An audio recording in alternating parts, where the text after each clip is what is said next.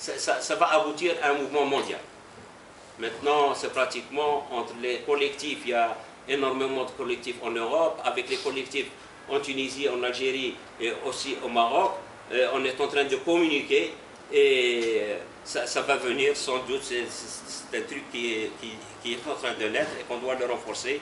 Donc euh, nous avons créé aussi une page qui s'appelle Non au gaz de schiste pour le Maroc, mais il y a d'autres pages sur le concernant l'Algérie et la, la Tunisie l'essai de réseautage de plusieurs collectifs anti-gaz de schiste en Afrique et en Europe, travail de lobbying, création d'une coordination nationale et d'un collectif maghrébin pour la lutte contre la technologie d'exploitation du gaz de schiste, diffusion d'une pétition. Nous avons lancé une pétition. Maria elle a euh, dispatché un petit peu sur les, collègues et ainsi tout le monde pour essayer donc d'être euh, au maximum. Tant qu'on signe, ça veut dire que l'information est passée et que les gens ils, ils, ont perçu le danger de cette, de cette industrie. On parlait lors des séminaires, bon, à chaque fois qu'il y a un séminaire, euh, on essaie d'introduire la, nouvelle pour informer les gens. Il y a aussi le contact des journalistes, des médias, voire des, une interview sur euh, la radio Cap, euh, Radio. Euh, créer des événements comme euh, prochainement. Inch'Allah, on va essayer de... Ça, c'est le genre de message qu'on lance sur, le, sur les Facebook. Euh, nous avons le devoir de protéger notre pays et nos familles de la menace des gaz de schiste. Le combat sera dur et lent, mais nous gagnerons car nous défendons la vie.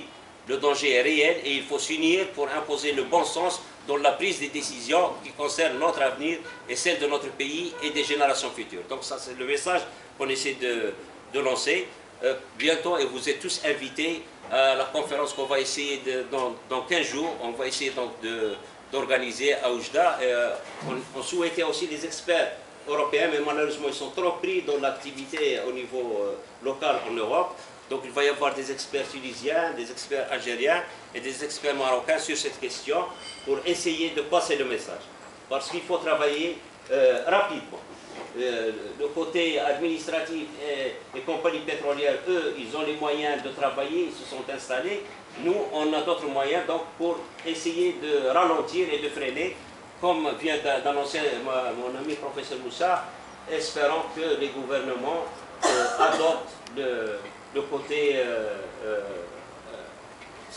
ils, ils, doivent œuvrer pour l'intérêt de leur, de peuple. C'est ce qu'on souhaite.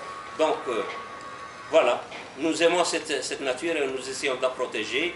Et donc nous disons au gaz de schiste, non, jamais. Donc ni ici au Maroc, ni ailleurs dans le monde. Et je vous remercie.